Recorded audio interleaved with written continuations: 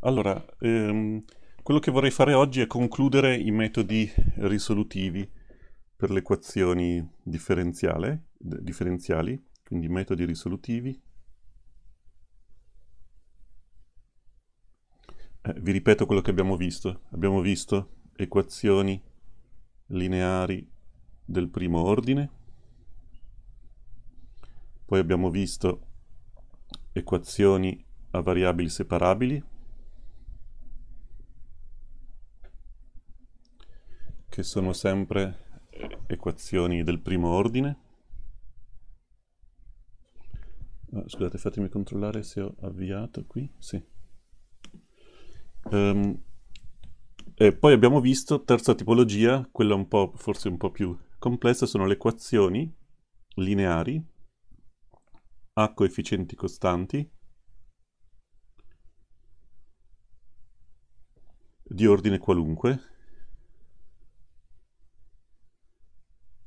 E ehm, in questa tipologia abbiamo, eh, abbiamo, osservato che un'equazione eh, differenziale ehm, lineare a coefficienti costanti come si scrive? Si scrive in questa forma qui, diciamo in generale si può scrivere così, u derivata ennesima, se vogliamo, calcolata in x, più la somma per k che va da 0 a n-1 di un coefficiente a con k, un numero reale, derivata k'esima di x, quindi c'è la derivata ennesima, per convenzione mettiamo che ha coefficiente 1, poi ci sono tutte le altre derivate e questo è uguale a una funzione, eh, chiamiamola b di x. Queste sono eh, eh, le, diciamo, la formula generale per un'equazione differenziale lineare, è lineare perché le, i termini di u, le, le, u e le sue derivate compaiono in modo lineare. E in generale questa diciamo eh, può essere omogenea o non omogenea quindi se, se b uguale a 0 si dice omogenea se b è diverso da 0 è non omogenea quello che abbiamo visto la volta scorsa è che si può associare un polinomio cioè in effetti questo è un polinomio calcolato nell'operatore di derivata applicato a u. Si può scrivere così eh, la nostra equazione in maniera un po' più compatta dove p, p di lambda, chiamiamolo, è un polinomio che non è altro che lambda alla n più è un polinomio che ha gli stessi coefficienti, eh, gli stessi coefficienti che ci sono nell'equazione. A con k lambda alla k. Quindi un polinomio monico, il coefficiente del termine di grado massimo è 1, di grado n. Questo è un polinomio. E si può chiamare polinomio associato all'equazione, polinomio, forse si può chiamare polinomio caratteristico. Quello che abbiamo visto la volta scorsa è che se il polinomio si fattorizza, e noi sappiamo che il polino polinomio si fattorizza sempre nel campo dei numeri dei co eh, complessi, ma eh, quello che abbiamo visto la volta scorsa è il caso più semplice, se abbiamo una fattorizzazione con eh, radici reali, lambda meno lambda 1, lambda meno lambda 2, fino a lambda meno lambda n, n radici distinte, allora noi sappiamo che u, uh, u chiamiamola k, la funzione uk di x è alla lambda k di x, quindi l'esponenziale con coefficiente lambda k pari a una di queste radici, tutte queste funzioni esponenziali sono una base eh, dello spazio delle soluzioni dell'equazione omogenea. Quindi lo span di U0, U1, eh, cioè questo abbiamo cominciato a chiamare da 1, eh, da U1, U2, UK, è il nucleo dell'operatore L, che sarebbe P di D L di U si potrebbe chiamare, L potrebbe essere diciamo, il nucleo dell'operatore L, che non è altro che il polinomio P applicato all'operatore derivata. E cioè sono, eh, questo è l'insieme delle soluzioni dell'equazione omogenea. L di U uguale a 0. Okay? Il nucleo dell'operatore è per definizione l'insieme di tutti i vettori che vengono mandati a zero dalla, mm, dall'operatore lineare e quindi in questo caso è l'insieme delle funzioni che soddisfano l'equazione omogenea. Quindi abbiamo visto il caso di radici eh, di, reali distinte, quindi la volta scorsa abbiamo visto le radici reali distinte e abbiamo visto l'equazione omogenea e oggi eh, cosa dovremmo vedere? Eh, radici con eh, molteplicità, eh, radici complesse e con molteplicità eh, insomma si ritratterà allo stesso modo e poi dovremmo vedere l'equazione l'equazione non omogenea.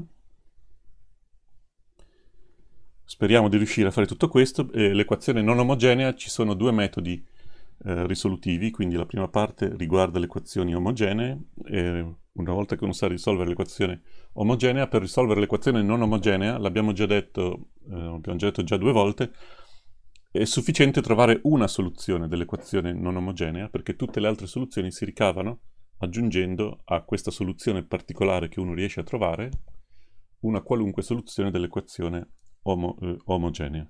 E ci sono due metodi per trovare soluzione, una soluzione particolare. Uno è il metodo di somiglianza e uno è il metodo della variazione delle costanti.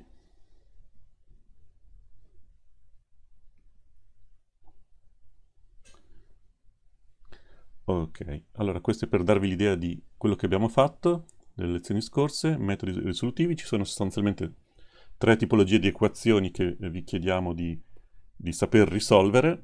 E l'ultima categoria sono equazioni lineari a coefficienti costanti, l'abbiamo iniziata eh, mercoledì e oggi vediamo se riusciamo a finirla, la cosa è un po' lunga ma spero di riuscire a fare, speriamo almeno quasi tutto.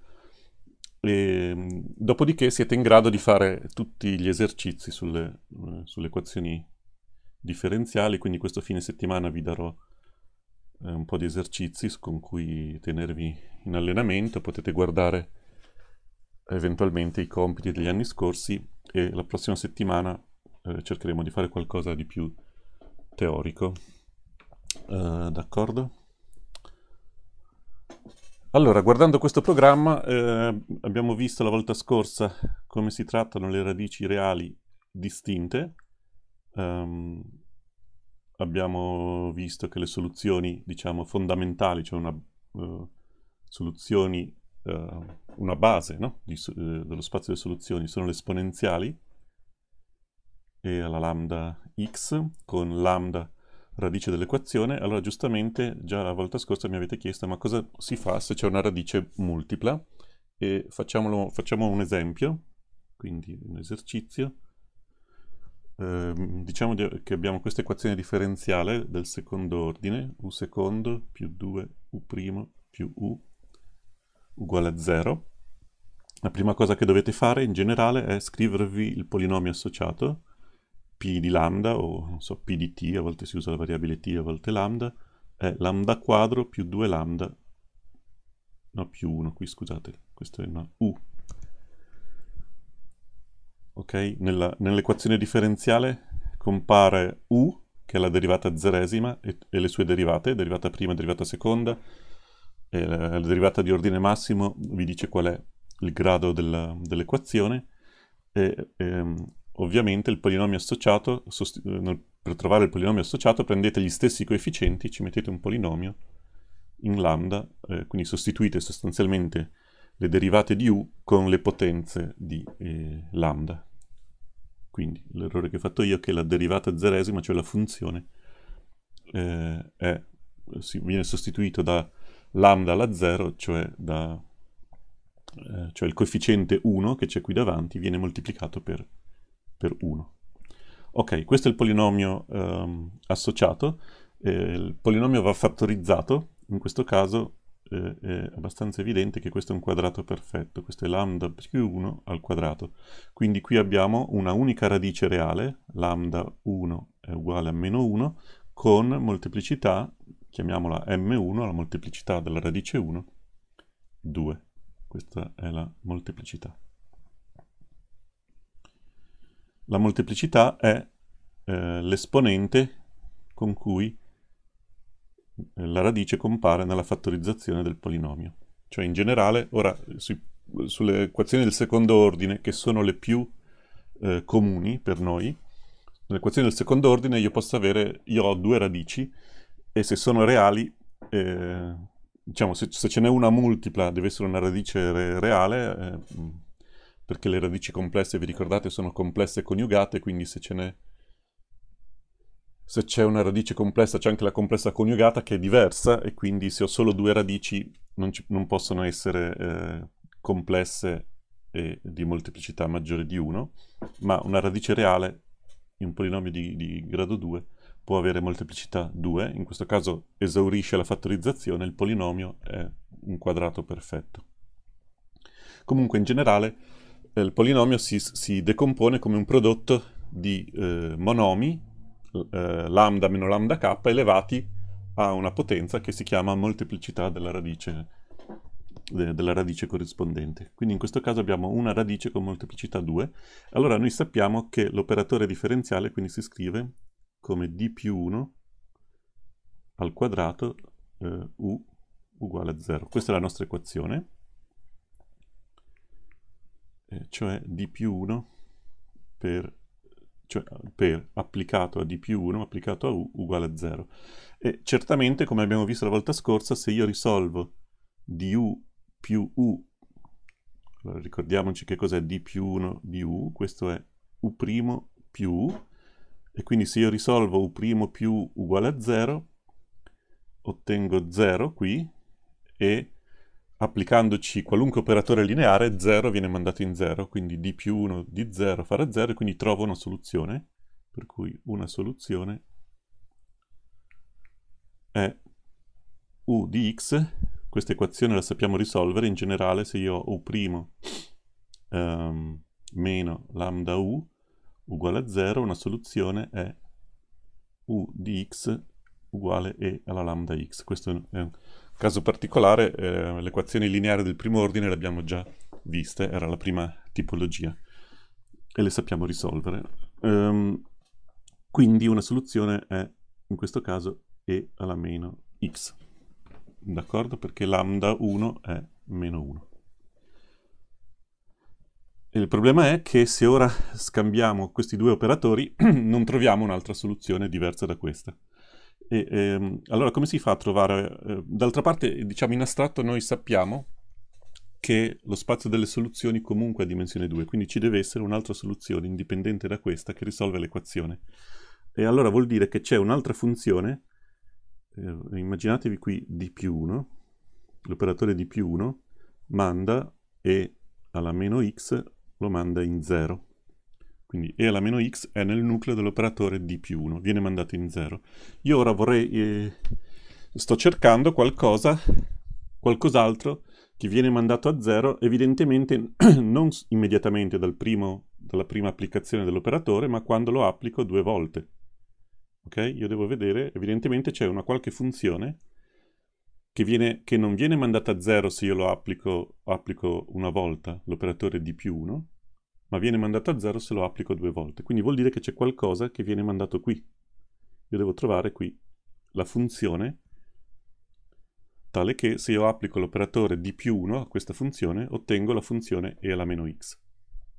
E in realtà questo lo potremmo anche eh, trovare esplicitamente, perché io mi sto chiedendo, sto cercando una funzione u tale che d più 1 di u non è, non, non è uguale a 0, questo lo sappiamo già, abbiamo già risolto, ma è uguale a e alla meno x. O un multiplo di e alla meno x.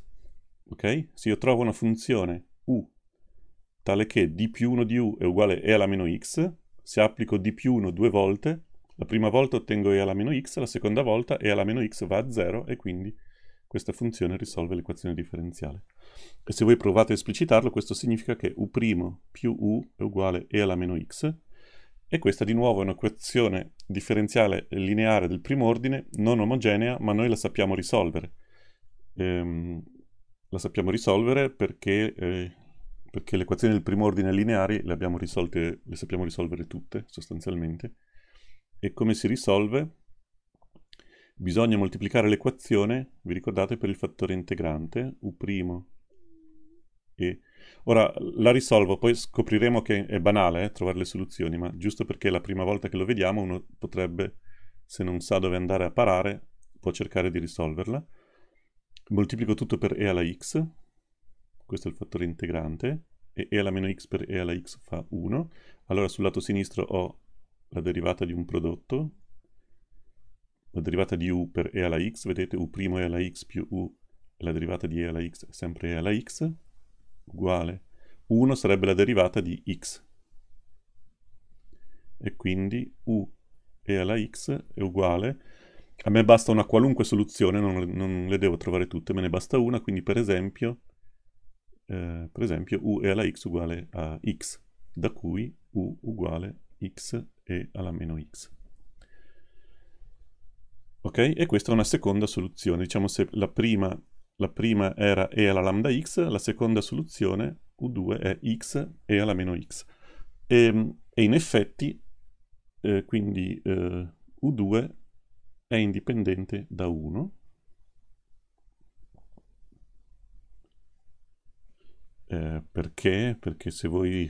Cosa vuol dire che è indipendente? Che non è un multiplo no? di 1, e perché se voi fate x e alla meno x diviso e alla meno x, eh, questo fa x, che non è la funzione identicamente, non è una costante, non è una funzione costante. Uh, D'accordo? Perché indipendente vuol dire che, non, che, una funzione non è multiplo dell'altra, cioè non si ottiene dall'altra moltiplicandola per un coefficiente costante. E quindi se il rapporto dipende da x, ehm, questo non è, non, è una costante. Questo non è costante. E quindi le due soluzioni sono indipendenti e quindi lo spazio delle soluzioni. Abbiamo trovato due soluzioni indipendenti, abbiamo trovato quindi tutte le soluzioni. Il nucleo di D mh, mm, più 1 quadro di questo operatore, e cioè l'insieme delle soluzioni, ehm, soluzioni di lambda di L uguale a 0 dell'equazione omogenea è lo span di U1 e U2 e quindi si può scrivere in questa forma. La soluzione generica dell'equazione eh, di questa equazione è una combinazione lineare di U1 e U2, quindi è della forma coefficiente A grande, chiamiamolo, e alla meno x più coefficiente b grande x e alla meno x e volendo si può scrivere in questa forma, raccogliamo e alla meno x, quindi a più bx e alla meno x. Uh, D'accordo? Allora, in questo caso l'abbiamo risolto in questo modo, trovando la soluzione, ma possiamo intuire qual è, qual è la situazione generale. La situazione in generale, uh, in generale, questo esempio mi suggerisce di guardare uh, quindi questo è un esempio. Oh, ditemi se ci sono dubbi su questo esempio. Noi non faremo tutta questa fatica, eh? ora vi dirò come si trovano le soluzioni delle equazioni eh, omogenee a coefficienti costanti, voi dovete darle, una volta scomposto il polinomio, c'è una regola che vi dice immediatamente quali sono, quindi ora vedremo la regola generale, quindi non preoccupatevi di, di dover ripetere eh, questo, diciamo, questo calcolo non sarà necessario. Ora vediamo come dire immediatamente quali sono le soluzioni, ma insomma può essere utile capire come ci siamo arrivati. Quindi, d'accordo, eh, spero sia abbastanza chiaro quello che abbiamo fatto.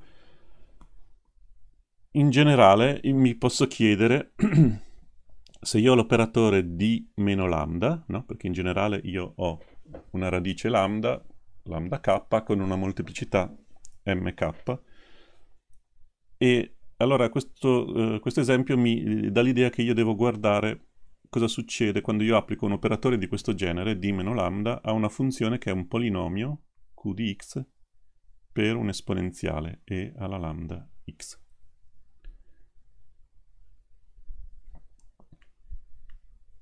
Quanto fa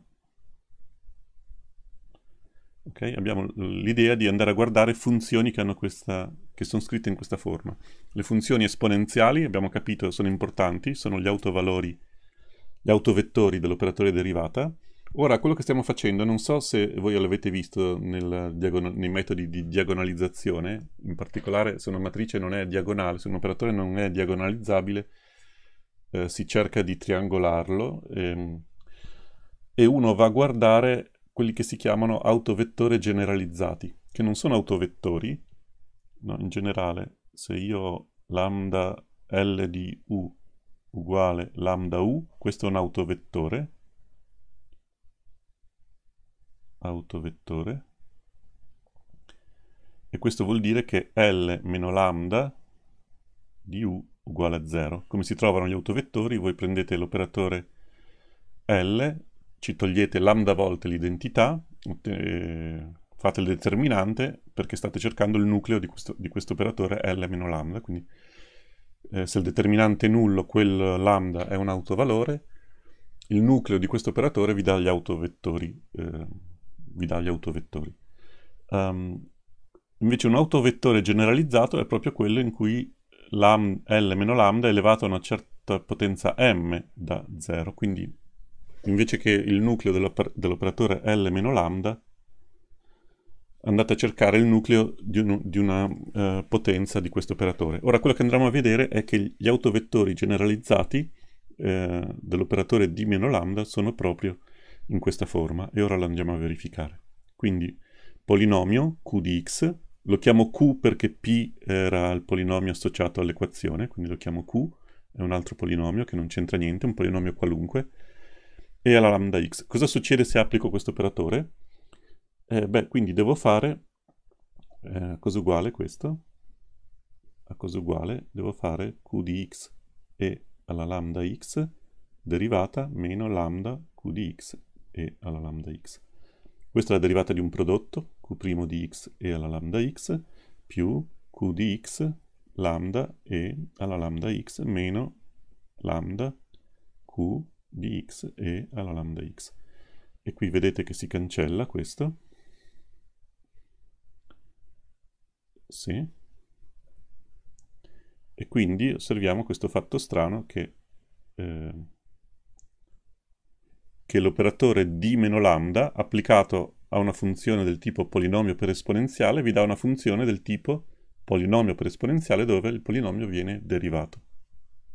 Ok? Quindi abbiamo visto che d meno lambda Ora abbiamo visto d meno lambda, ma quanto farà d meno lambda alla m? Quindi se lo applico m volte, d meno lambda alla m di una funzione del tipo polinomio per esponenziale, non è altro che questo operatore, curiosamente, qui diciamo la cosa non è, non, è una, non è, una, coincidenza, insomma si potrebbe studiare come mai succede questa cosa, ma prendiamola come una curiosità. L'operatore d meno lambda quando lo applico a una funzione di questa forma, lambda è lo stesso, qui è importante che questo lambda sia uguale a questo, perché così si cancellano quei due termini, allora questo operatore opera banalmente facendo la derivata del polinomio a moltiplicare. Questo è, eh, se lo applico m volte, quindi farò m derivate. Questa è la derivata mmesima del polinomio per eh, l'esponenziale. Ok, quindi e questo ci dice che cosa? Beh, intanto ritroviamo il fatto che se il polinomio è costante, la derivata è 0 e quindi eh, l'esponenziale eh, costante per esponenziale sta nel nucleo dell'operatore d meno lambda, viene mandato a 0. Ma non solo, se io voglio sapere eh, quali sono le funzioni che vengono mandate a 0 dall'operatore d meno lambda elevato alla m, quindi con una certa molteplicità, semplicemente andrò a prendere i polinomi eh, di grado inferiore a m. Quindi se q, se il grado di q, qui non l'ho mai scritto, l'ho detto a voce, eh, q è un polinomio, q polinomio. Quindi se il grado di q è minore di m, d meno lambda alla m di q di x e alla lambda x è uguale a 0. E quindi quanti sono i polinomi eh, di grado minore di m, i polinomi di grado minore di m sono uno spazio vettoriale di dimensione m e quindi trovo effettivamente m, eh, m soluzioni indipendenti. E tra l'altro qual è una base dei polinomi? Questo lo, sicuramente l'avete visto a geometria, eh, al corso di geometria. Eh, una base, eh, quindi una base di soluzioni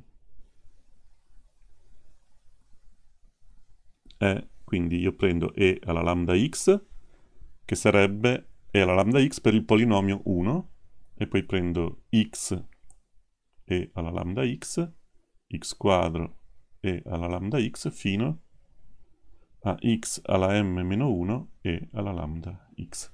Perché 1, x, x quadro, x alla m meno 1 formano una base dei polinomi di grado eh, inferiore a m, perché ogni polinomio di grado inferiore a m è, per definizione, diciamo in forma canonica, è una combinazione lineare uh, di, di, questi uh, monomi.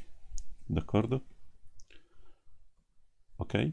E quindi, uh, quindi è abbastanza semplice, no? In generale, facciamo un altro esempio per capire come si fa in generale, un altro esercizio. Un po' più complicato se vogliamo avere radici di più radici di molteplicità alta, eh, io potrei prendere u quarto, devo prendere equazioni di grado maggiore ovviamente, P meno 6u terzo più 9u secondo uguale a 0. Ok, consideriamo questa equazione differenziale di ordine 4. Consideriamo il polinomio associato, p di lambda, quindi è lambda alla quarta, meno 6 lambda cubo, più 9 lambda quadro, come si fattorizza questo? Beh, innanzitutto raccolgo lambda quadro e mi rimane lambda quadro meno 6 lambda più 9. Questo, se ho scelto bene i coefficienti, è un quadrato perfetto. Sì, questo è lambda meno 3 al quadrato. Li vediamo. Lambda meno 3 al quadrato fa lambda quadro meno il doppio prodotto 6 lambda più meno 3 al quadrato fa 9. E quindi qui ho una situazione in cui ho due radici, lambda 1 uguale a 0, con molteplicità, lambda 1 a molteplicità 2, è questo esponente, e poi ho lambda 2 uguale a 3, eh, una seconda radice che ha anche lei molteplicità 2.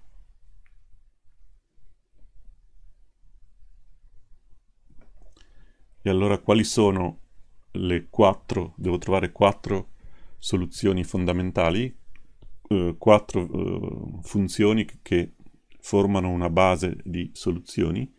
Allora sono, ah, eh, fate attenzione, la radice 0 vi dà e come funzione esponenziale e alla 0x, che vi può sembrare un po' strano, ma è un caso, diciamo, un caso particolare che è molto più semplice in realtà. e alla 0x fa 1, quindi eh, se avete la radice 0 eh, l'esponenziale non si vede più, vi viene una funzione eh, costante, la costante 1.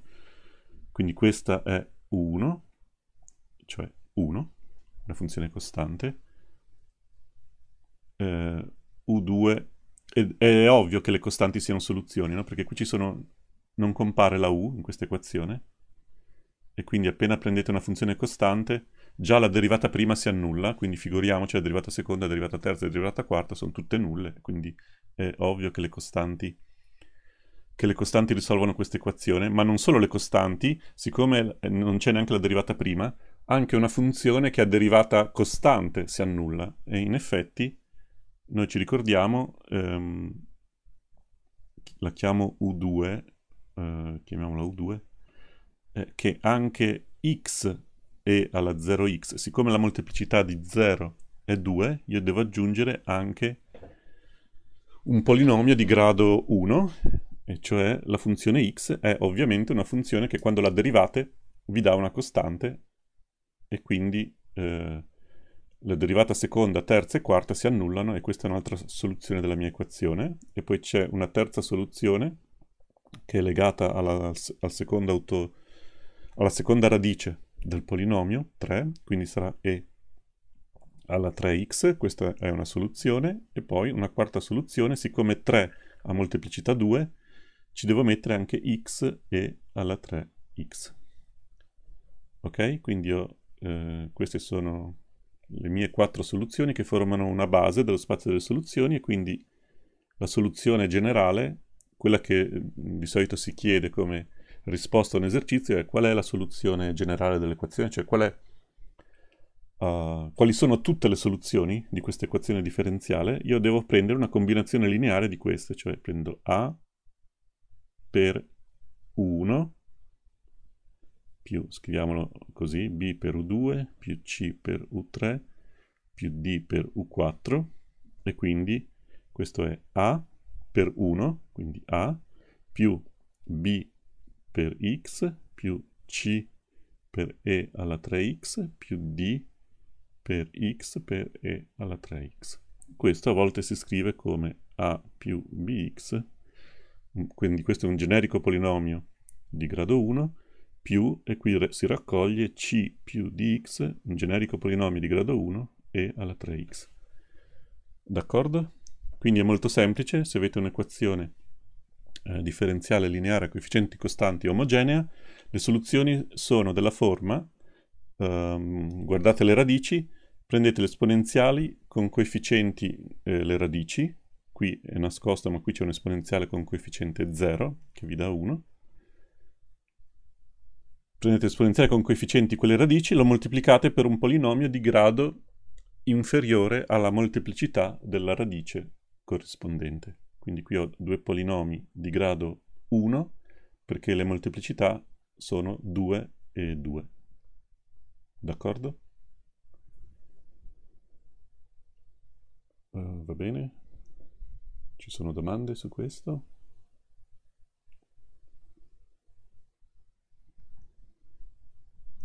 In realtà è molto semplice, quindi la difficoltà, se volete, è fattorizzare quel polinomio. Ok, ora dobbiamo vedere, quindi sappiamo trattare le radici reali multiple, dobbiamo vedere cosa succede se il polinomio, se le radici non sono reali.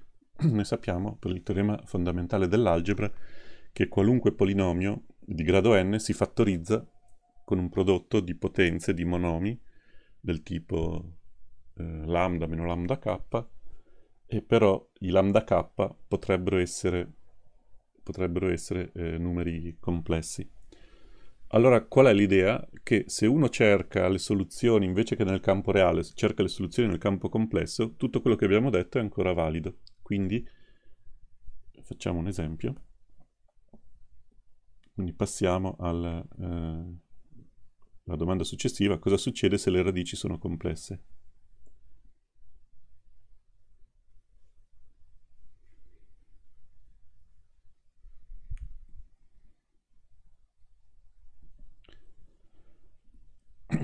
Esempio, il caso uh, dell'oscillatore armonico. Se io ho... Uh, no, facciamo un altro caso, uh, sto guardando l'oscillatore armonico, ce lo lasciamo per dopo, poi lo usiamo per le equazioni non omogenee.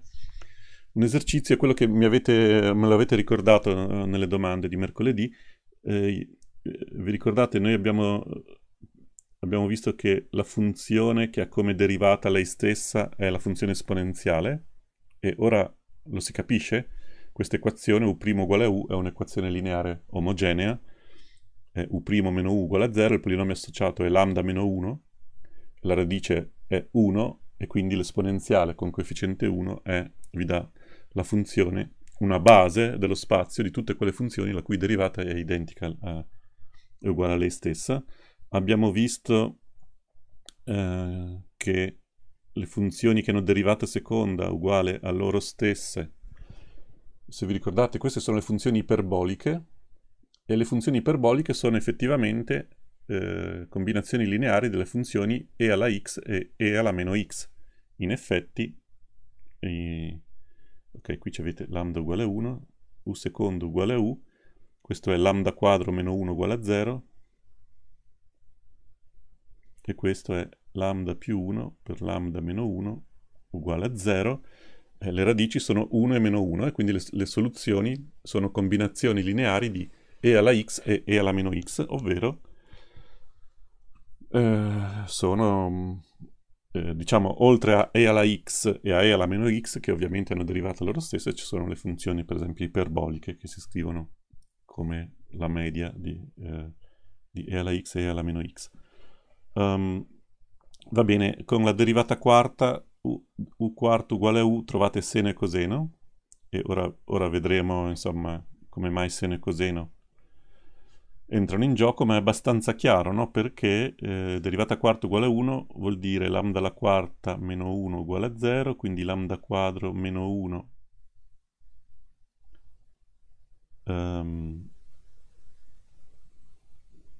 per lambda quadro più 1 uguale a 0, lambda quadro meno 1 uguale a 0 vi danno e alla x e, e alla meno x, lambda quadro più 1 uguale a 0, quindi questo è lambda meno 1, lambda più 1, e qui c'è, devo andare nel campo complesso, lambda quadro più 1 eh, si fattorizza nel campo complesso, qual è quel numero che il quadrato fa 1? Meno eh, i al quadrato fa meno 1, e anche meno i al quadrato fa meno 1, quindi questo è lambda più i, lambda meno i. E, e quindi questo vi dà e e alla x, questo vi dà e alla meno x, questo vi dà e alla meno ix e questo vi dà e alla ix. Ma chi sono e chi è e alla x? Questo è coseno più i seno. Quindi seno e coseno, è, anzi in effetti, diciamo, eh, va bene, e alla x è, se, coseno più i seno, ma voi anche vi ricordate che seno e coseno sono, sono in effetti combinazioni di, eh, si possono scrivere come combinazioni lineari di e alla x e e alla meno x. Quindi seno e coseno sono, l'idea è che seno e coseno sono una base alternativa per lo span di queste funzioni. Cioè, io sto dicendo che lo spazio generato da e alla x e e alla meno x eh, va bene, queste sono funzioni a valori reali, eh, non ci danno nessun problema, ma lo span, se io faccio lo spazio generato dalle funzioni e alla ix e e alla meno ix e lo faccio adesso però a coefficienti complessi, quindi sto pensando, qui c'è una piccola difficoltà, Bisogna, bisognerebbe eh, insomma avere dimestichezza con le funzioni a valori complessi e, e, come si fanno le derivate di queste funzioni, vi dovete un po' fidare, si fanno esattamente, le regole di derivazione sono esattamente le stesse delle funzioni, delle corrispondenti funzioni eh, reali e, e si trattano esattamente allo stesso modo, eh, le verifiche sono banali, ma in qualche modo, quindi noi adesso andiamo un po' così per, per intuito. Eh, quello che vi sto dicendo è che eh, lo spazio generato da queste due funzioni complesse è lo stesso spazio generato dalle funzioni reali seno di x e coseno di x. Perché? È perché e alla x è combinazione eh, lineare di seno e coseno e alla x è coseno di x più i seno di x. È una combinazione lineare a coefficienti complessi. È coseno, coseno di x più i seno di x. Quindi questo vettore è combinazione lineare di questi due. E e alla meno x, pure, questo è coseno di x meno i seno di x, e quindi anche questo vettore è combinazione lineare di questi due. Vuol dire che questi due vettori sono una base, eh, d'accordo? Perché se ogni vettore dello spazio si può scrivere questo span, sono le combinazioni lineari di questi due eh, vettori, e quindi lo spazio generato da questi due vettori sono le combinazioni lineari di questi due, di questi due vettori, ma se questi due vettori a loro volta si scrivono come combinazione lineare di seno e coseno, vuol dire che ogni vettore di questo span si scrive come combinazione lineare di seno e coseno. Quindi questo è in effetti una, di una dimostrazione di, di algebra lineare del fatto che seno e coseno sono una base alternativa dello stesso spazio. E, e qual è ora il vantaggio di usare seno e coseno? È che eh, questo significa che Facendo lo span complesso di seno e coseno ottengo tutte le soluzioni complesse, ma siccome le funzioni seno e coseno sono reali, se io faccio lo span reale, ottengo tutte le soluzioni reali. Ok? Quindi se io voglio le soluzioni complesse, posso fare combinazioni lineari a coefficienti complessi di seno e coseno, oppure eh, di e alla ix e e alla meno x, ottengo la stessa cosa. Ma se io voglio le soluzioni reali, eh, queste le trovo facendo eh, combinazioni lineari a coefficienti reali di queste due funzioni seno e coseno, che sono funzioni reali. Ok? Questo è un po' quello che sta dietro, diciamo, come, eh, come mai seno e coseno compaiono queste, eh, nelle equazioni differenziali. Il motivo è che sono, sono se volete, la, la proiezione no, sul, sulla parte reale eh, delle, dell'esponenziale complesso. E quindi vi danno, vi danno delle funzioni reali, le cui combinazioni lineari um, reali eh, vi, eh, vi, danno tutte le soluzioni, tutte, diciamo, tutti i vettori reali, quindi le soluzioni reali dell'equazione differenziale. D'accordo? Quindi le equazioni differenziali in campo complesso eh, si risolvono esattamente allo stesso modo. In campo complesso ehm, il campo complesso è algebricamente chiuso, quindi il polinomio si fattorizza e, e però se io sono interessato alle funzioni eh, reali devo sostituire, devo sostituire le combinazioni lineari uh, degli esponenziali complessi con combinazioni lineari uh, di funzioni trigonometriche, quindi eh, seno e coseno. Allora, la domanda è, per esempio, qual è quella domanda che vi avevo lasciato all'inizio dell'anno, eh, all'inizio dell'anno, insomma, a metà anno, proviamo a risolvere u terzo uguale u. Cioè ci sono delle funzioni reali che hanno la proprietà che la loro derivata terza è uguale a loro stesse, e questo eh, non è così facile da trovare se, se, eh, senza aver fatto le, le, equazioni differenziali. Allora questo significa u terzo meno u uguale a 0. Eh, quindi il polinomio associato è lambda cubo meno 1. E come si fattorizza questo polinomio? Um, sicuramente lambda uguale a 1 è una soluzione, poi trovate, eh, vi rimane un polinomio di secondo grado che eh, potete risolvere, avrà discriminante negativo, perché 1 è l'unica soluzione reale, ovviamente, lambda cubo uguale a 1 ha un'unica soluzione reale, che è lambda uguale a 1, e avrà due eh, soluzioni complesse coniugate che si ottengono dalla formula risolutiva dell'equazione di secondo grado. Se il delta è negativo, la radice di delta si può fare in campo complesso vi dà no, più o meno radice di delta, vi darà più o meno i la radice di meno delta e quindi trovate le radici complesse. Se volete provate a farlo. Questo è eh, lambda meno 1 per lambda quadro più lambda più 1. Questo è un prodotto notevole e questo polinomio ha discriminante negativo e però potete trovare le radici complesse. Ma un modo un po' più ovvio, un po' più evidente di trovare queste radici è il fatto che z cubo, io sto cercando di risolvere z cubo uguale a 1, ma noi l'abbiamo visto, quali sono le soluzioni di questa equazione? z cubo uguale a 1 ha come soluzione dei numeri complessi di modulo 1, perché il modulo al cubo è il modulo di 1, quindi è 1, quindi sono dei punti sulla circonferenza unitaria, uno di questi punti è il punto 1, che sappiamo che è soluzione.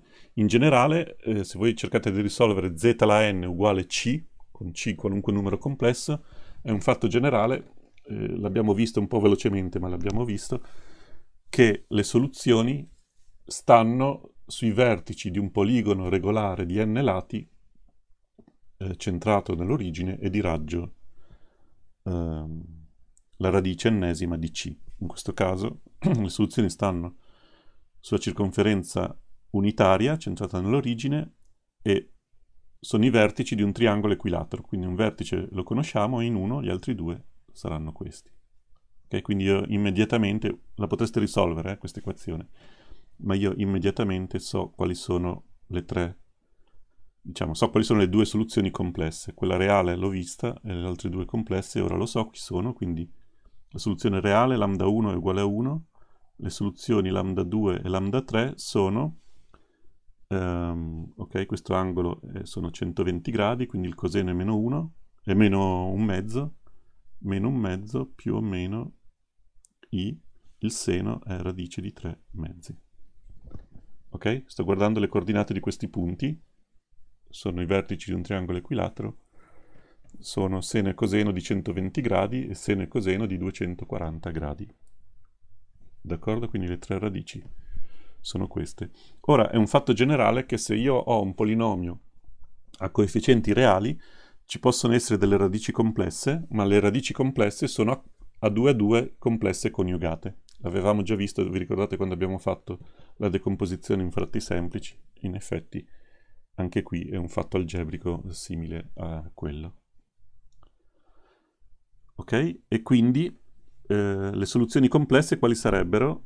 Io avrei 1 uguale e alla x e alla lambda 1x e alla 1x, cioè e alla x, è ovviamente una soluzione. La funzione esponenziale ha come derivata terza l'esponenziale, quindi è soluzione di questa equazione. E poi ho u2 sarebbe e alla lambda 2, quindi meno un mezzo più o meno i radice di 3 mezzi x e u3 sarà e alla meno un mezzo, eh, scusate, questo c'è il più, e alla meno un mezzo meno i radici di 3 mezzi x.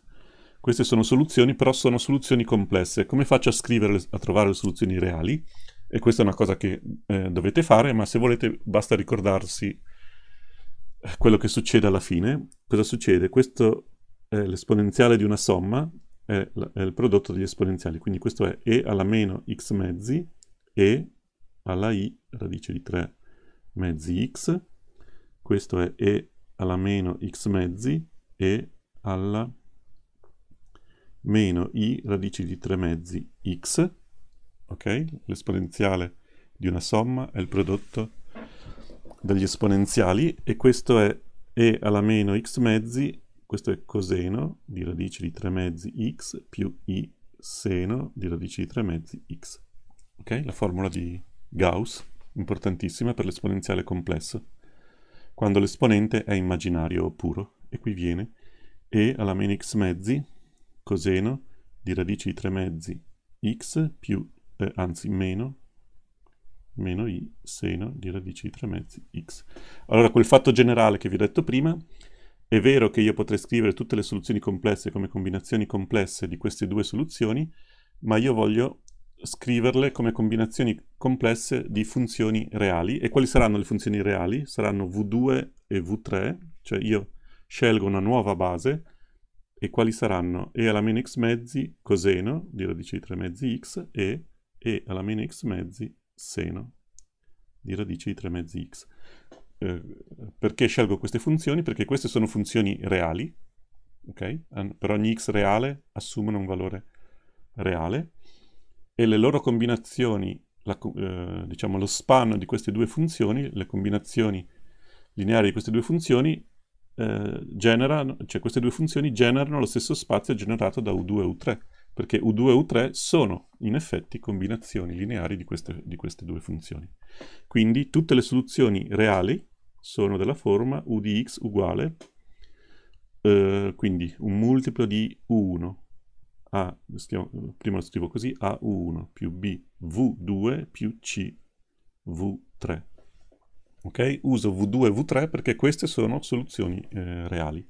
Se ci mettessi U U2 e U3 e se ci mettessi coefficienti complessi otterrei tutte le soluzioni complesse, che in certi casi vi sarà utile, per esempio in realtà nella meccanica quantistica le funzioni d'onda sono complesse, quindi in quel caso seno e coseno ehm, potrebbe non essere la scelta no? più naturale, uno eh, naturale che rimanga con l'esponenziale complesso perché è interessato alle soluzioni complesse, ma noi siamo interessati invece alle soluzioni reali, e, e se, se, vogliamo vedere delle oscillazioni, un'equazione di un moto armonico, eh, siamo abituati a vederle usando le funzioni seno e coseno, quindi se vogliamo sapere quali sono le soluzioni reali dobbiamo scriverle in questa forma, e quindi abbiamo a e alla x più b e alla meno x mezzi coseno di radici di 3 mezzi x più c e alla meno x mezzi seno di radice di 3 mezzi x.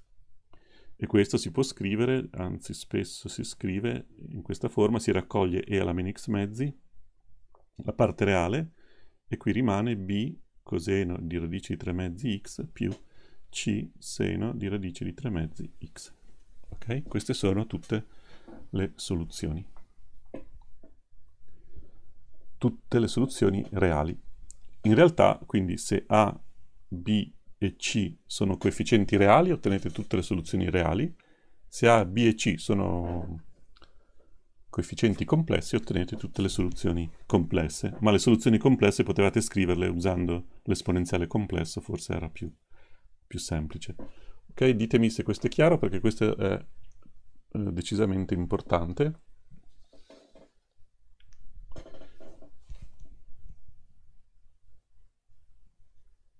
Ok. Questa parentesi eh, voi a volte la scrivete in questa forma. Questo è coseno, questo è rho coseno di radice di 3 mezzi x più eh, φ. È un altro modo per scrivere la stessa cosa, cioè una combinazione lineare di seno e coseno con, stesso, con la stessa pulsazione, no? mi pare si chiami così questo coefficiente. Questo sarebbe quello che voi chiamate omega,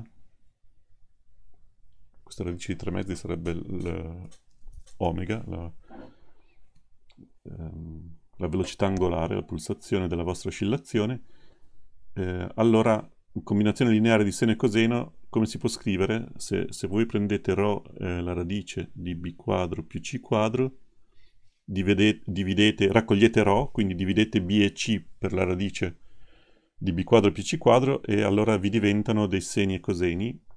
Allora b diviso la radice di b quadro più c quadro e c diviso la radice di b quadro più c quadro sono coseno e seno di un certo angolo φ.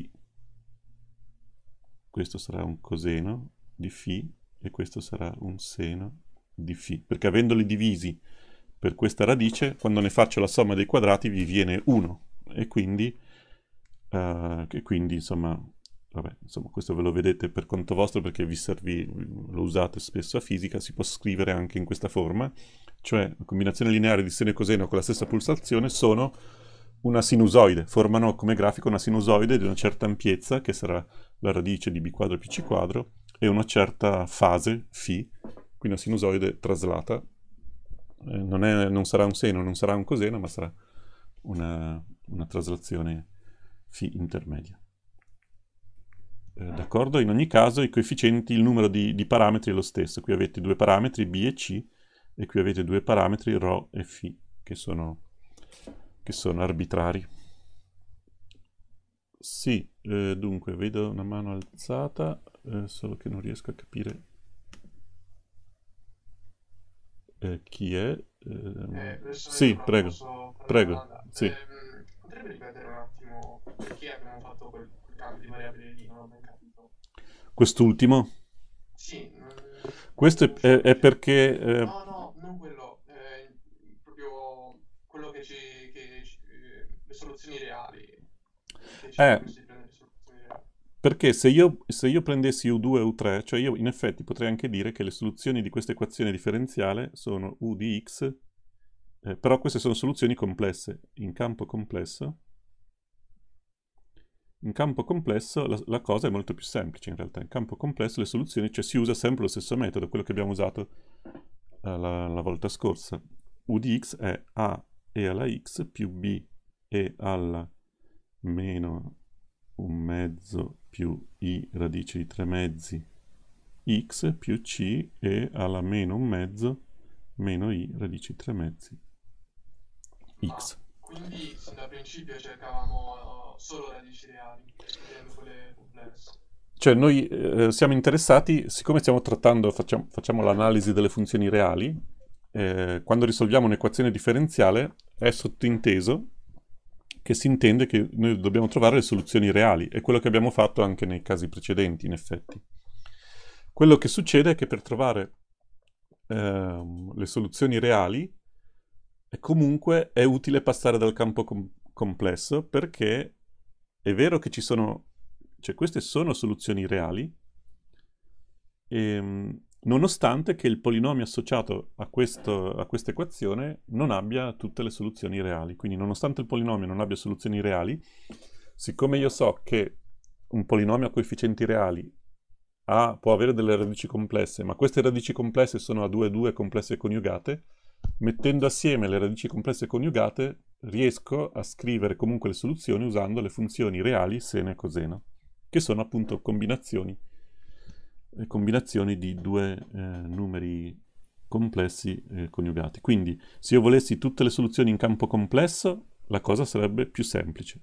Le cose complesse sono in realtà più semplici. Questo è un fatto abbastanza generale perché il campo complesso è algebricamente chiuso. Se invece voglio avere le soluzioni reali, devo fare un po' di fatica in più, ma se volete, una volta, diciamo, una volta che l'avete capito, poi meccanicamente, dal punto di vista risolutivo, è una banalità semplicemente eh, avete questa regola che le soluzioni reali sono esponenziale, quando avete delle radici complesse dovete prendere l'esponenziale della parte reale e alla meno un mezzo x sarebbe l'esponenziale corrispondente alla parte reale e poi per la parte, per la parte immaginaria prendete coseno e seno con coefficiente la parte immaginaria, quindi meno un mezzo era la parte reale della radice, radice di tre mezzi la parte immaginaria, la parte immaginaria va usata con seno e con coseno, e vanno, eh, se c'è un seno c'è anche un coseno, perché se c'è una radice c'è anche la complessa coniugata e io uso entrambi seno e coseno. Quindi, diciamo, dal punto di vista della metodologia eh, risolutiva è banale, se lo imparate a memoria, la giustificazione non è difficile, è semplicemente dovuta al fatto che io ho uno spazio vettoriale complesso mi interessa la parte reale di questo spazio vettoriale complesso, concetto che non, sarebbe un po' complicato ora dirvi in generale, ma ve lo immaginate, insomma, che cos'è la parte reale di uno, di uno spazio vettoriale complesso, non so se l'avete visto a geometria. Fatto sta che se io trovo una base dello, di uno spazio vettoriale complesso i cui vettori hanno no, le, tutte le coordinate reali, e questo è possibile, no? perché io faccio combinazioni a coefficienti complessi di numeri reali ottengo numeri complessi. Quindi se io trovo una base di vettori reali di uno spazio complesso, quella base di vettori reali sarà la base della parte reale di quello spazio. Quindi, va bene, insomma, in astratto può essere un po' complicato, ma è quello che abbiamo visto qui in concreto. Le, le soluzioni reali si ottengono da quelle complesse sostituendo gli esponenziali complessi con eh, seno, seni e coseni, quindi in questo modo qui. D'accordo? E facciamo un altro... Eh, eh, prego. Eh, facciamo un altro esempio per vedere cosa succede se le radici complesse hanno molteplicità maggiore di 1. Ovviamente, siccome una radice complessa si porta dietro anche la complessa coniugata, se ha molteplicità maggiore di 1 una radice complessa, anche la complessa coniugata ha molteplicità maggiore di 1, quindi stiamo già parlando di equazioni di ordine 4, perché avrei già 4 radici, quindi è abbastanza inusuale no? che vi troviate di fronte a uh, radici complesse con molteplicità maggiore di 1, però non, non, in realtà non c'è niente di, di complicato, solo che l'esempio richiede un'equazione di quarto grado, è per esempio questa, u quarto più 2u secondo più u uguale a 0.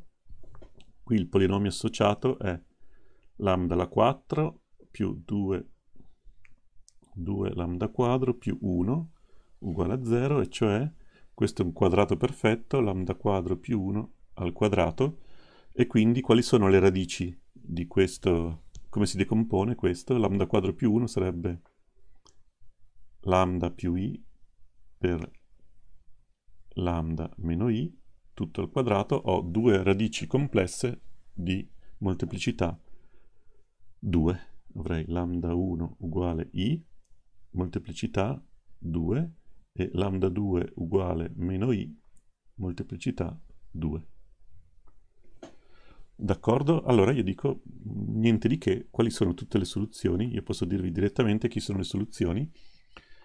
Um, Ora diciamolo direttamente, poi se volete vediamo come ci si può arrivare, ma è, è, mh, semplicemente io so che le soluzioni io devo prendere uh, gli esponenziali che corrispondono ha queste radici, che in questo caso però sono complesse, e quindi quali sarebbero? Sarebbero combinazioni di seno e coseno, perché i, no? I mi dà proprio un seno puro, non c'è l'esponenziale perché la parte reale è nulla, meno i mi dà il coseno, ok? Questo mi darebbe e i sarebbe 0 più i, quindi sarebbe e alla 0x, e qui ci dovrei mettere, cioè quando le metto assieme, vanno messe assieme queste, no?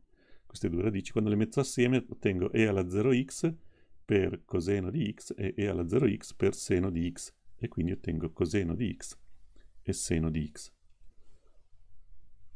Ok, le devo mettere assieme perché in realtà i mi darebbe coseno di x più i seno di x, meno i mi darebbe coseno di x meno i seno di x, ma se prendo le combinazioni, se le metto assieme, tutte le combinazioni lineari, ottengo combinazioni lineari di coseno e seno. Semplicemente queste le, le dovevo anche moltiplicare per un generico polinomio di grado minore di 2 e quindi le soluzioni, eh, oltre a seno e coseno, quindi coseno e seno ci sono, a coseno di x più b seno di x, più ci devo mettere anche x coseno di x, quindi cx coseno di x più dx seno di x. Ok? Niente di, di complicato.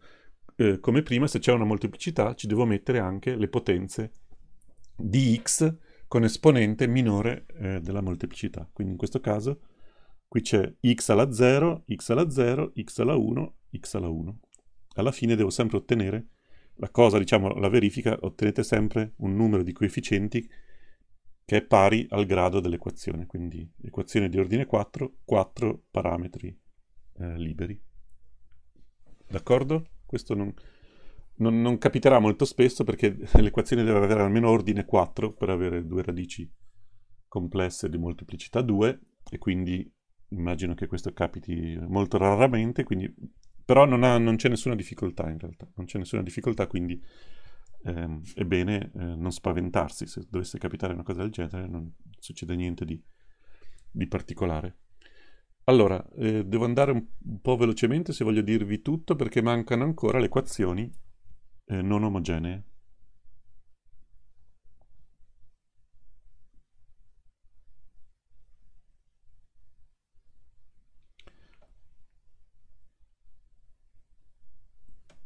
Okay? Le equazioni omogenee a coefficienti costanti le sappiamo risolvere.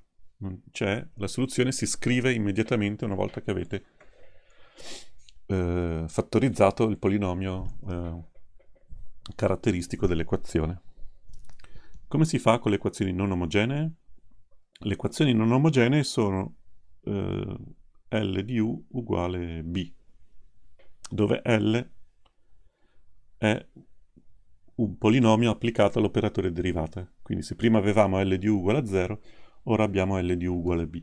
E abbiamo detto, eh, in generale, le soluzioni, le soluzioni, possiamo dire immediatamente che le soluzioni sono della forma U di x uguale U0 di x più U asterisco di x, dove U0 è una qualunque eh, soluzione della omogenea, cioè diciamo qualunque tutte le soluzioni dell'omogenea,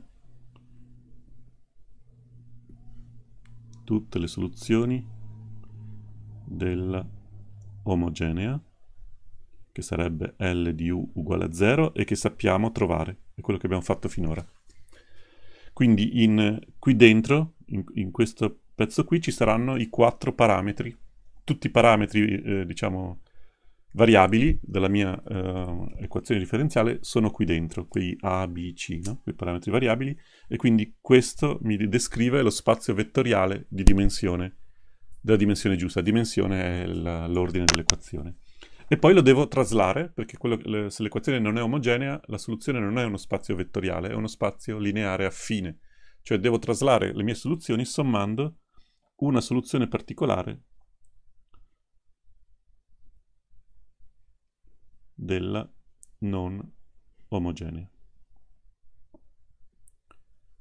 Ok? Qui io mentalmente ho sempre in mente questo disegno eh, che non, non, so se vi dice, se vi è utile, qui ci sono le soluzioni ker L, sono le soluzioni dell'omogenea, e le soluzioni della non omogenea sono uno spazio parallelo a questo. Questo è L di U uguale B, e come si trova? Eh, siccome so che è parallelo al nucleo, basta trovare un qualunque qui, U, U asterisco, una soluzione particolare della non omogenea e io sommo a, eh, prendo il L e lo sposto, cioè lo 0 va in U star e tutto lo spazio si sposta e mi dà tutto lo spazio viola.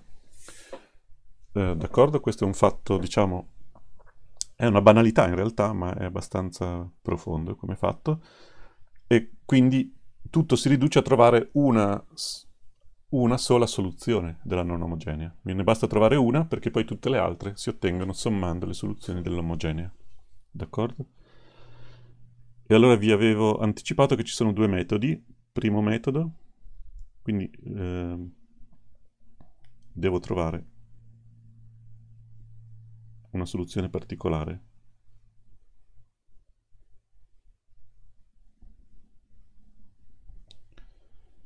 Cioè, cosa vuol dire la soluzione particolare? Una qualunque, almeno una soluzione, che qui ho chiamato ustar. Primo metodo, la somiglianza.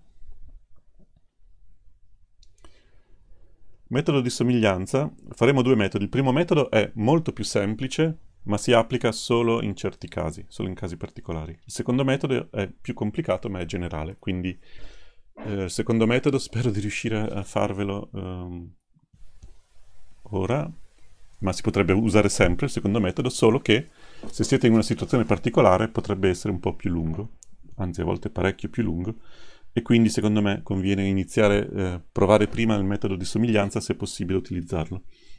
Metodo di somiglianza si basa su questa osservazione. Eh, osservazione. Abbiamo visto prima che se io faccio d meno lambda di, un, um, di una funzione del tipo polinomio per esponenziale, ottengo la derivata del polinomio per l'esponenziale. Questo fatto curioso.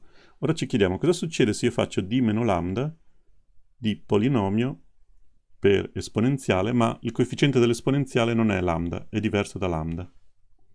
Mu diverso da lambda. Ok, io faccio d meno lambda, ma la funzione è polinomio per esponenziale, ma l'esponenziale ha un coefficiente che non è lambda, è diverso da lambda. Beh, eh, lo possiamo fare come prima.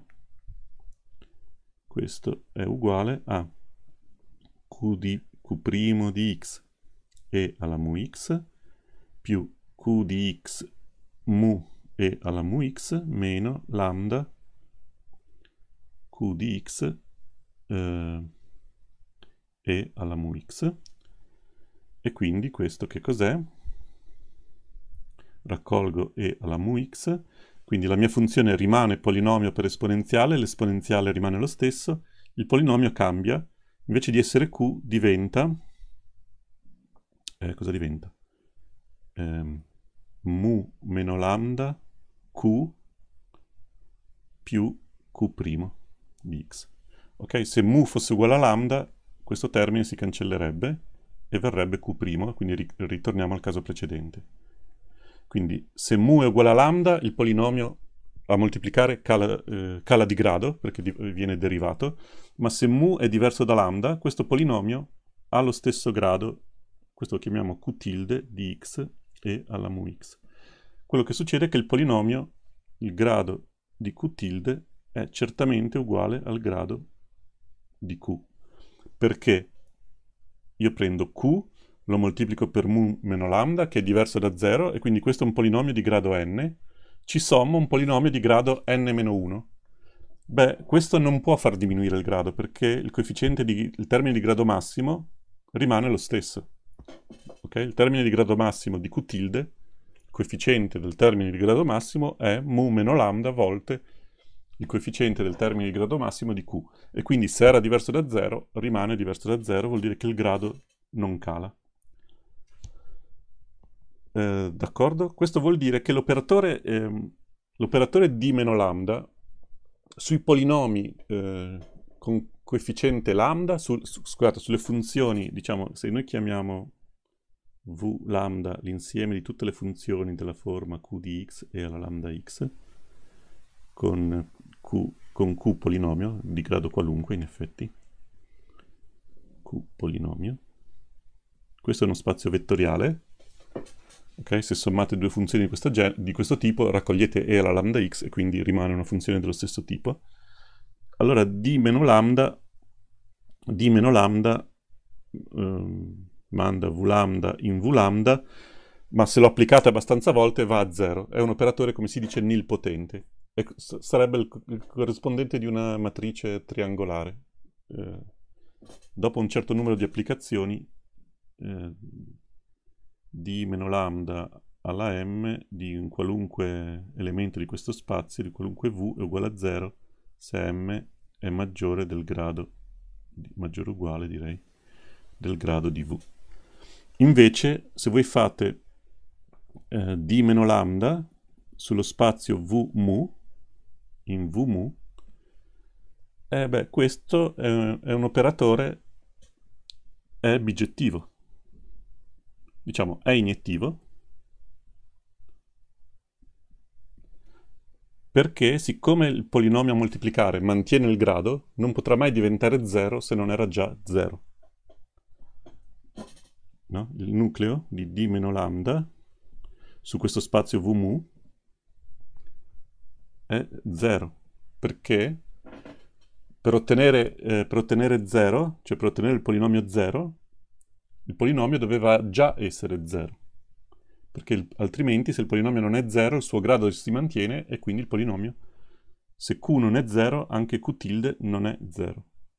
Quindi questo è iniettivo, ma un operatore iniettivo, questo, questo è uno spazio di dimensione finita, eh, scusate, non è di dimensione finita, però um, su ogni sottospazio di dimensione finita questo è biettivo, cioè se io prendo i polinomi di grado minore di n, questo è uno spazio se io qui ci metto anche un n, diciamo q polinomio di grado minore di n, tutto questo rimane valido, e questo è uno spazio di dimensione n, un operatore iniettivo su uno spazio di dimensione n in uno spazio di dimensione n è anche suriettivo e quindi è un isomorfismo lineare. Ho tutta questa uh, questa osservazione astratta per dire che cosa? Per dire che cosa? Quindi che se io ho questa equazione, quindi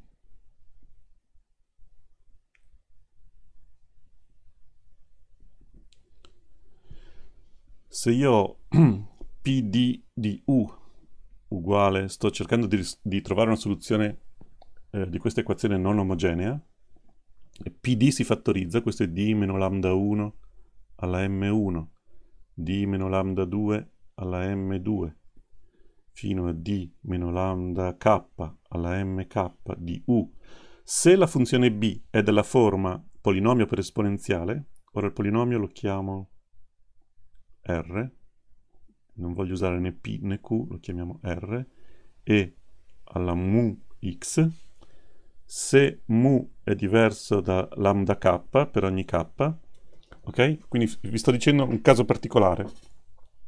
Se b, il termine noto, è della forma polinomio per esponenziale e se il coefficiente dell'esponenziale è diverso da tutti questi coefficienti, io so che esiste un q, polinomio q, tale che una funzione, una soluzione particolare si scrive nella forma q di x e alla mu x con il grado di q minore o uguale del grado, anzi eh, direi uguale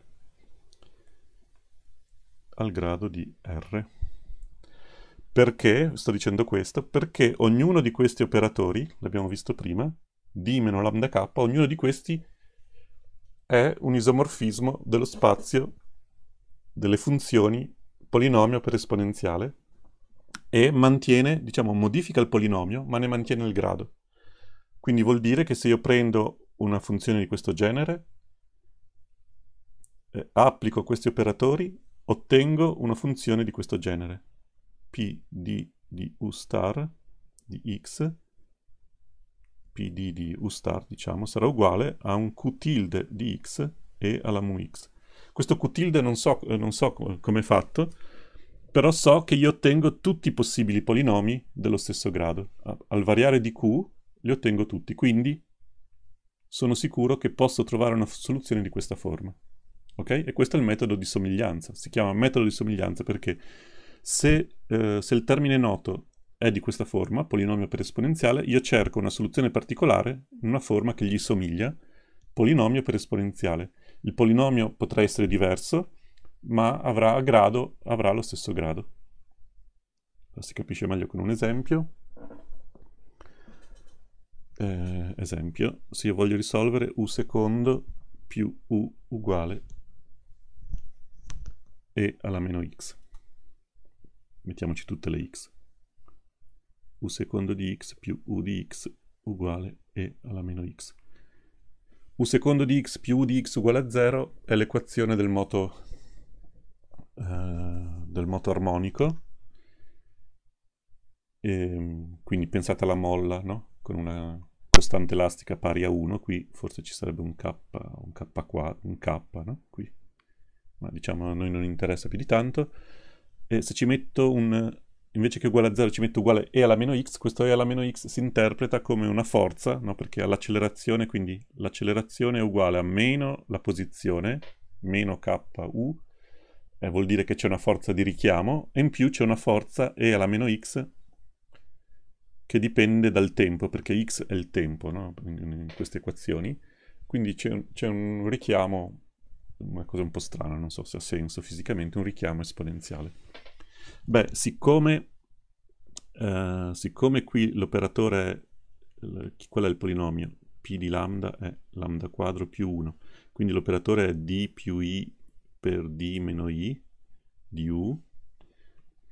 Io so, quello che ho detto prima rimane vero esattamente allo stesso modo quando gli esponenziali sono esponenziali complessi. E quindi, siccome eh, il coefficiente che c'è qui davanti, questo meno 1, qui c'è mu uguale a meno 1. Il termine noto è polinomio per esponenziale. L'esponenziale è coefficiente meno 1. Siccome meno 1 non è radice del polinomio, quindi ehm, come si fa a sapere se mu è una delle radici? Basta in realtà calcolare p di mu. p di mu è diverso da 0. Quanto fa p di mu? p di meno 1 è meno 1 al quadrato 1 più 1 2, quindi questo fa questo è meno 1 al quadrato più 1 è uguale a 2, è diverso da 0, significa che mu non è radice del polinomio caratteristico dell'equazione. Significa che posso usare il metodo di somiglianza, quindi cerco una soluzione particolare, u di x, della forma polinomio dello stesso grado. Qui qual è il grado del, del polinomio che c'è qui davanti? Questo è 1, è un polinomio di grado eh, 0. Quindi un altro polinomio di grado 0 è una costante qualunque, e alla meno x. Ci devo mettere la costante perché la soluzione e alla meno x potrebbe non essere soluzione di questa equazione, anzi direi che banalmente non lo è perché se ci metto e alla meno x, eh, quanto fa? Se ci metto e alla meno x mi viene e, la derivata seconda è meno e alla meno x, meno meno e alla meno x, quindi è e alla meno x, più e alla meno x, questo è uguale a 2 e alla meno x ma in effetti volendo, avendo fatto questo tentativo, è chiaro che c è uguale a un mezzo, no? Perché se ci metto e alla meno x mi viene 2 e alla meno x, ma l'equazione lineare, quindi vale, vale la, la, proprietà di sovrapposizione, diciamo, vale la linearità, quindi se ci, ci metto un mezzo e alla meno x ottengo la soluzione. Ma questo non è il metodo generale. Il metodo generale, il metodo generale è io so che c'è una soluzione di questa forma, eh, semplicemente prendo questa funzione e la butto nell'equazione.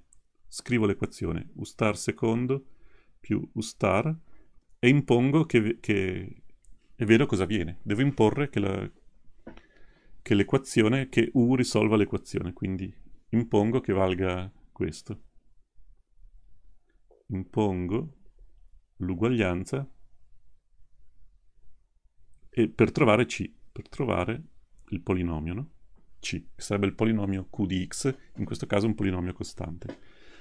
e quindi faccio u secondo, beh, faccio prima u primo di x, in questo caso è tutto molto semplice, ma in generale la cosa può essere un po' più laboriosa. La derivata prima è meno c e alla meno x, la derivata seconda è meno per meno fa più c alla meno x, e quindi quando quando io risolvo scrivo L di U, L di U star, chi è? È U star secondo più U star, quindi è C e alla meno X più E più C e alla meno X. Ok, la derivata seconda in effetti è uguale alla funzione stessa e questo viene 2C e alla meno X impongo l'uguaglianza 2c e alla meno x deve essere uguale a e alla meno e alla meno x. Ok? Questo era il termine noto b. E questo mi dice che c è uguale a un mezzo. Quindi u star, ho trovato il, il polinomio, è un mezzo e alla meno x. Sapevo che ci doveva essere e alla meno x per quel fatto generale, ho trovato qual è il polinomio a moltiplicare e quindi la soluzione generale come si scrive? Devo scrivere tutte le soluzioni dell'equazione omogenea associata e sono seno e coseno. A coseno di x più b seno di x più la soluzione particolare, un mezzo e alla meno x. Eh, D'accordo? Ora devo andare, vorrei farvi, proprio per potervi dare gli esercizi nel fine settimana, vorrei farvi anche l'ultimo metodo quindi uh, no, in realtà non ce la faccio perché vi devo far vedere, vi devo far vedere, ma insomma vediamo, vi, vi devo far vedere un altro caso, cioè questo è il caso più semplice, è il caso in cui mu non è, eh, non è una radice del mio polinomio. Ma cosa succede, cosa succede se mu, se mu è radice del polinomio?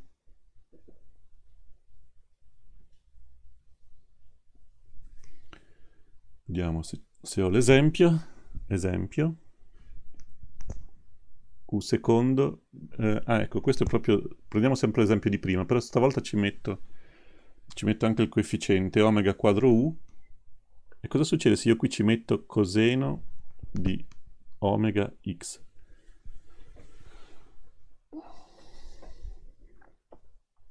Allora, innanzitutto il coseno... Um, non è esattamente un esponenziale, e, ehm, ma l'idea è che il coseno di omega x è e alla i omega x, che cos'è? È più e alla meno i omega x fratto 2. Allora in generale, eh, se io devo trovare una soluzione particolare, di nuovo il principio di sovrapposizione.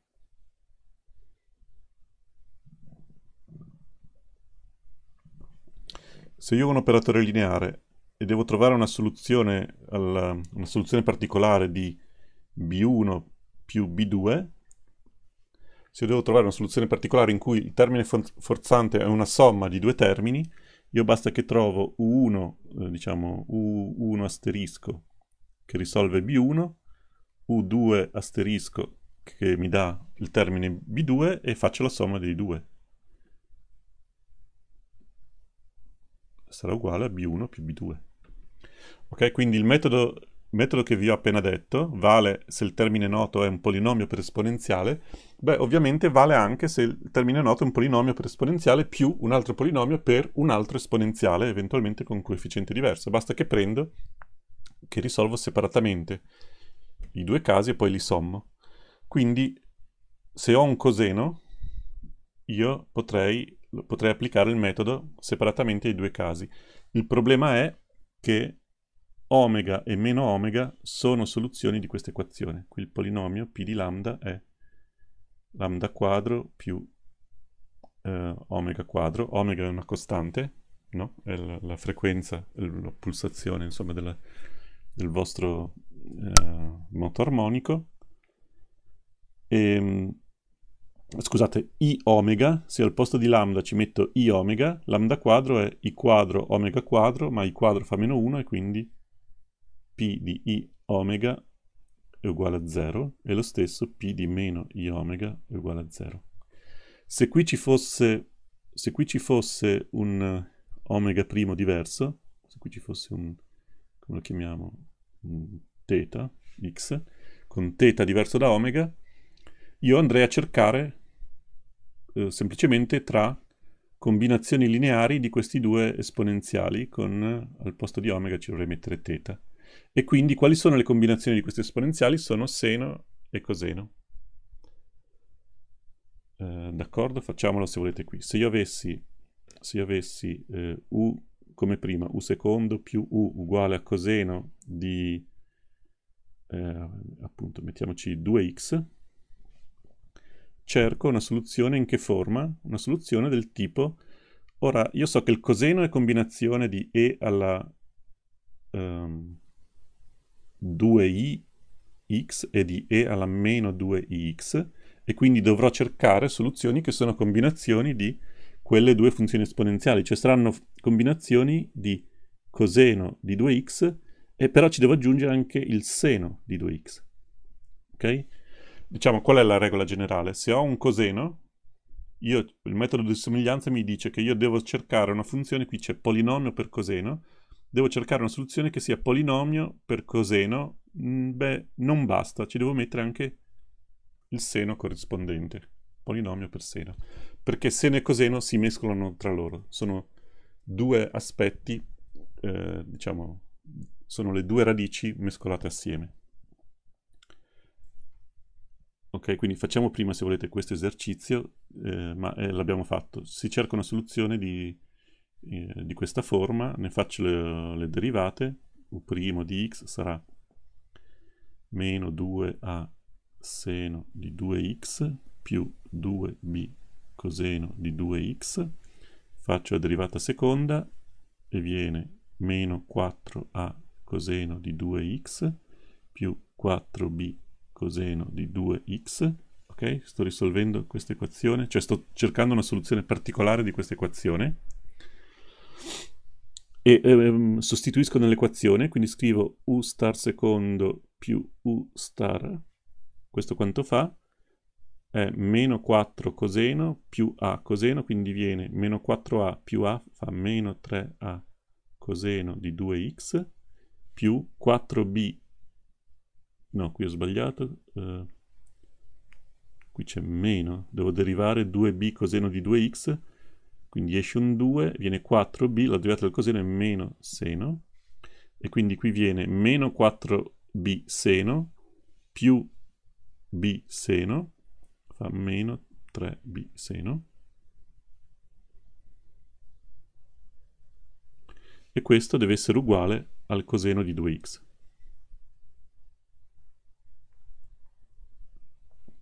Ok? Il coseno di 2x è questo. E quindi, quando è che una combinazione di seno e coseno è uguale al coseno? È, è quando b è uguale a 0. b uguale a 0 e meno 3a deve essere uguale a 1. Quindi la soluzione particolare è a uguale a meno un terzo, quindi questo mi dice che a è uguale a meno un terzo, b uguale a 0, ma la soluzione era a coseno di 2x, b seno di 2x, e quindi qui viene meno un terzo coseno di 2x. Ok, in questo caso effettivamente la funzione ehm, viene un coseno. Eh, viene un coseno, è giusto questo? Sì, viene un coseno come era un coseno, ma perché questo è di grado di ordine 2, cioè diciamo fidatevi che in generale io devo eh, devo metterci anche il seno, ok? Devo fare combinazioni di seno, di seno e, e coseno. Se ci fossero dei coefficienti diversi potrebbe venirmi diversamente e quindi ho trovato una soluzione particolare. La soluzione generale è soluzione generale dell'equazione omogenea. Eh, ora uso A e B, ma sono non c'entrano niente con quello che ho scritto prima, sono A è sempre la stessa. Nell'equazione omogenea sappiamo che le soluzioni sono seno e coseno, quindi A coseno di x più B seno di x più soluzione particolare della non omogenea, quindi meno un terzo coseno di 2x. Ok? Qui siamo sempre nel caso in cui eh, l'esponenziale del termine noto non interferisce, cioè in certo senso eh, è indipendente dal, dalla frequenza del, del sistema, non interferisce con le radici del polinomio caratteristico. Allora facciamo l'ultimo caso e purtroppo mi rimane, mi rimane fuori il secondo metodo, e lo vedremo lunedì a questo punto. E, cioè la domanda rimane questa, non abbiamo ancora risposto. Cosa succede se mu è radice del polinomio? Beh, l'idea è che, quindi ripeto la domanda, se p di mu è uguale a 0, eh, cosa succede? Che io ho un d meno lambda 1 eh, alla m1 d meno lambda k alla mk di u uguale, no? Eh, e qui ho il mio r di x e alla mu x. Se p di mu è uguale a 0 significa che mu è una di queste radici. Diciamo che mu, per esempio, potrebbe essere uguale a lambda k. Eh, d'accordo? Allora, se mu è uguale a lambda k, questo operatore questo operatore, eh, se io prendo una funzione dello stesso genere, io prendo una funzione u asterisco che sarà polinomio q di x per e alla mu x, però in questo caso purtroppo d, eh, quanto fa d meno mu alla m applicato a, questo, a questa funzione, abbiamo detto che mi dà la derivata ennesima, mi dà la derivata ennesima, quindi mi dà qm di x e alla mu x. E quindi eh, quel, questo pezzo dell'operatore, quello che corrisponde alla radice mu, mi fa calare il grado del polinomio di tanti, di tanti gradi, diciamo di, di, di, tanti passi, quanto è la molteplicità di quella radice nel polinomio. E però tutti gli altri invece non fanno niente, tutti gli altri mantengono, mantengono eh, il grado del polinomio. Quindi semplicemente l'idea è che scelgo, eh, devo scegliere un polinomio q che abbia grado maggiore di r, perché io so già che calerà di grado. E in realtà basta scegliere, invece che, che, eh, invece che prendere q di x e alla mu x, io prendo q di x per x alla m e alla mu x, dove m m è la molteplicità di mu come radice di p di lambda. Ok? Perché questo va bene? Perché io so che l'operatore d meno lambda d meno mu alla m mi eliminerà questo x alla m, farà calare, calare il grado m volte e quindi mi rimarrà un polinomio del grado giusto, eh, cioè in effetti eh, basta scegliere con, eh, con, il grado di Q uguale al grado di R, quindi Q dello stesso grado, però la moltiplico per x alla m, quindi in realtà ho un, ho un polinomio di grado più alto e che si abbasserà esattamente del, al grado giusto per avere la soluzione. D'accordo? Quindi questo in realtà è il fatto generale, perché questo si applica se, se mu non è radice del polinomio, allora semplicemente m è uguale a 0 e quindi questo termine non c'è e siamo nel caso precedente. Quindi questo, se volete, è il caso generale. E l'esempio che volevo farvi era questo, u secondo più, eh, appunto, omega quadro u uguale coseno di omega x. ehm, io andrò a cercare, quindi io so che le soluzioni dell'omogenea, le soluzioni dell'omogenea, il polinomio, abbiamo detto p di lambda è lambda quadro più omega quadro, che si decompone come lambda più i omega, lambda meno i omega, e le soluzioni dell'omogenea, questo, questo 0 sarebbe O un'omogenea, sono della forma eh, A coseno di omega x più B seno di omega x. Queste sono le, le soluzioni dell'oscillatore armonico, eh, che è l'equazione om omogenea corrispondente. Io cerco una soluzione di che forma? Beh, devo cercare una soluzione di che forma e eh, devo prendere seno e coseno, quindi coseno di omega x, seno di omega x, perché se se c'è un coseno mi può anche comparire il seno, no? Perché quando faccio le derivate del coseno mi compare il seno, viceversa se, quando faccio le derivate del seno mi compare il coseno. Qui ci prendo un coefficiente, ora A e B li ho, li ho usati per l'omogenea, diciamo A piccolo, e poi ci devo mettere anche una x a moltiplicare, più B piccolo e una x, perché omega, scusate, perché I omega, diciamo, moralmente perché questo coseno eh, va in risonanza no? con le soluzioni cioè io sto applicando una forza che ha la stessa frequenza della soluzione del, dell'equazione. Quindi ho, se volete, il mio pendolo, o il ponte no, che oscilla, e sto dando una forza con la stessa frequenza di oscillazione, con la frequenza propria del sistema. E questo avrà delle, degli effetti abbastanza devastanti, cioè il sistema entra in risonanza e non... mentre se la frequenza qui è diversa, sostanzialmente l'oscillazione del sistema rimane indipendente dalla, eh, dalla forza, provate a farlo, è quello che abbiamo visto prima.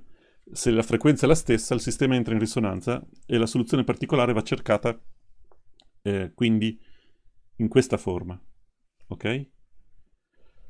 Eh, scusate, vi rubo ancora qualche minuto così finiamo questo esercizio e, e poi lunedì facciamo l'ultimo, metodo risolutivo.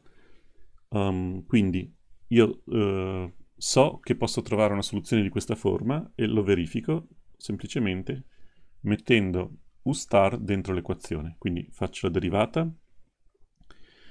Oh, voglio scrivere, vediamo, derivo prima rispetto, derivo prima questo termine che mi dà un coseno, derivo, questo è un prodotto, quindi ci sono diversi termini, qui c'è bx, omega coseno di omega x quando derivo il seno. Quando derivo la x mi rimane un, lo scrivo qui in fondo, b seno di omega x. Quando derivo qui il coseno mi viene un meno ax omega seno di omega x e quando derivo la x mi rimane un più a coseno di omega x. Questa è la derivata prima. Faccio la derivata seconda. Um, allora, vorrei scrivere... Eh, vediamo. Eh, derivo questo, derivo il seno, quindi mi viene meno ax, esce una omega, omega quadro, coseno di omega x, ho derivato il seno, derivo qui il coseno, cerco, vediamo se mi ricordo tutti i termini, sto cercando di scriverli con un certo criterio, derivo qui il coseno e mi viene meno bx omega quadro seno di omega x, poi quando derivo, quando qui derivo, uh, anzi facciamo questo, quando qui derivo questo seno mi viene meno b omega coseno di omega x, ma mi viene un termine simile quando derivo questa x qui. Quando derivo questa x mi viene più b, più b. È giusto? Omega coseno di omega x, quindi questi si cancellano.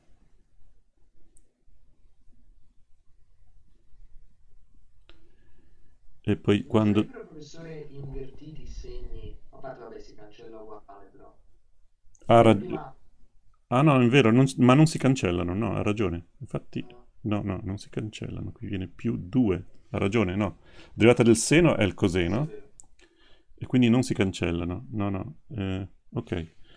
E poi c'è ancora, derivata del coseno è meno a omega seno di omega x, e la derivata di questo seno è di nuovo meno, no, scusate, la derivata di questa, se derivo questa x, è meno a omega seno di omega x, quindi anche questo si sommano, viene meno 2. Ora però devo scrivere l'equazione u secondo più omega quadro u star, questa era l'equazione. E cosa succede qui? Qui si dovrebbe cancellare un bel po' di roba perché u secondo è, per esempio, questo termine meno ax omega quadro eh, no, non si cancella niente. Ah, sì, eh, qui viene meno ax omega quadro coseno di omega x, ma quando scrivo omega quadro u c'è lo stesso termine qui. Quando moltiplico per omega quadro c'è ok qui devo moltiplicare questo per omega quadro questo devo moltiplicare per 0 perché non c'è nell'equazione e questa la moltiplico per 1 e allora eh, questo termine qui questo termine si cancella con questo. E questo si cancella con questo. E quindi rimane eh, rimane questo termine qui che fortunatamente non era 0 altrimenti. Non sarebbe venuto niente, 2b omega coseno di omega x meno 2a omega seno di omega x. E questo deve essere uguale, lo forzo, a essere uguale al coseno di omega x. E quindi trovo b uguale a un mezzo, a uguale a 0 e trovo quindi la soluzione particolare e eh, dunque A e B cos'erano? U star era AX coseno più BX seno, quindi AX coseno, vedete che stavolta il coseno scompare rimane BX, quindi un mezzo X seno di omega X. E la soluzione generale quindi sarà A coseno di omega t più B seno di omega t più x mezzi seno di omega, eh, no t, per, eh, scrivo t perché eh, di solito qui si usa sempre la variabile t, ma perché è un tempo, no? La x. Non ho scritto t da altre parti, no, sempre scritto x. E quindi questo che cos'è? E, ehm, beh, e quindi qui si vede che l'oscillazione propria viene quando, quando il tempo tende all'infinito, cioè all'aumentare del tempo, qui c'è qualche cosa che, che, che diverge, no? Questo è quindi a più x mezzi, no, viene a coseno di omega x più b più x mezzi seno di omega x. Quindi anche se, se io scelgo se il ponte ha un'oscillazione piccolissima, con una, con una fase diversa, potrebbe esserci una fase diversa, no? potrebbe non essere un seno, ci potrebbe essere B, potrebbe anche, B grande potrebbe anche essere 0, vuol dire che, che, il ponte oscilla con una fase sbagliata, ma se io faccio passare l'esercito, no? che, che batte i piedi con la frequenza di oscillazione giusta del ponte, eh, questo termine tende all'infinito, cioè l'oscillazione, se voi scusate il grafico di questa oscillazione, diciamo la, la fase cambia ma l'oscillazione si amplifica. Eh, d'accordo, dobbiamo eh, chiudere qui. Eh, spengo la registrazione